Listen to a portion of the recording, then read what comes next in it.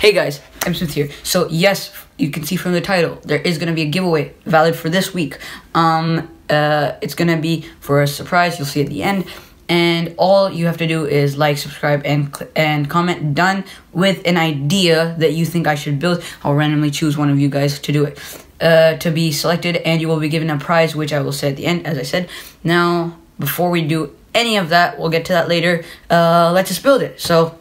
So basically, um, if we go here onto my Tinkercad page, you can see this is the main design for my repelling hooks and let's get 3D printing.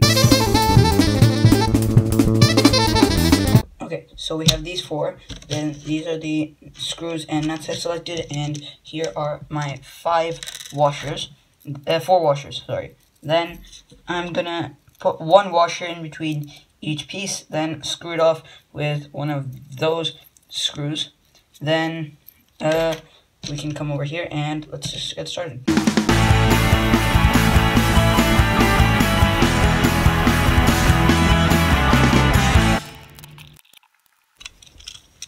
Okay, the system works. Uh, just have to sand them down a bit, and then these will be able to close off. But essentially, it works. Okay, guys. So th this is first of all my first time using um, 3D printed parts. I've never 3D printed before, and this is also going to be my first time using spray paint. So, uh, let's get this open.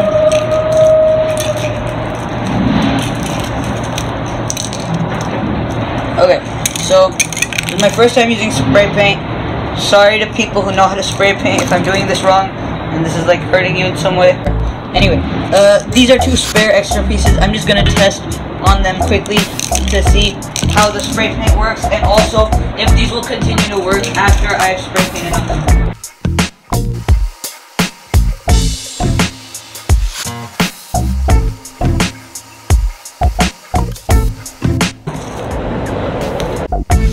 Okay. So, it appears it'll work pretty well. So now we're gonna test out with the real pieces.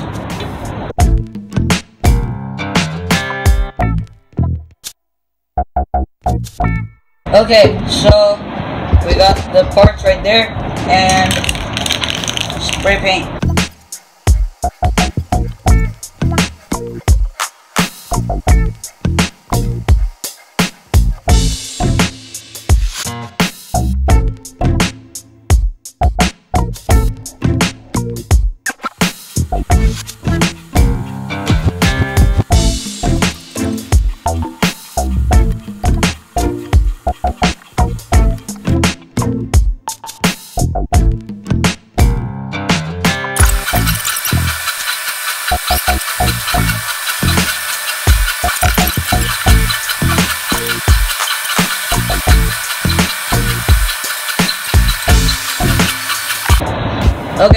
So I've made this beautiful piece of art, and I have these beautiful pieces. Ready? Just gonna let them out here, let them dry off a bit. In the meantime, I'm gonna do something fun. Okay, as this is my first time ever spray painting, I'm gonna do some graffiti. Okay, we're gonna leave that to dry. When I come back, that better be great. Beautiful piece of art. It's awesome. It's so amazing. okay, so uh, we got the pieces. They're dried up now, completely. Now uh, I'm just gonna move everything. Here are the parts. Now we'll screw them up, and we'll be pretty much all done.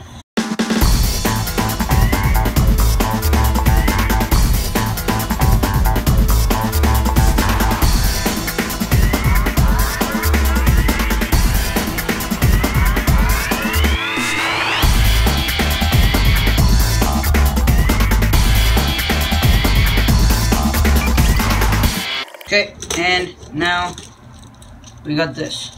Okay, so we have this. As you can see, it's pretty well working. Now,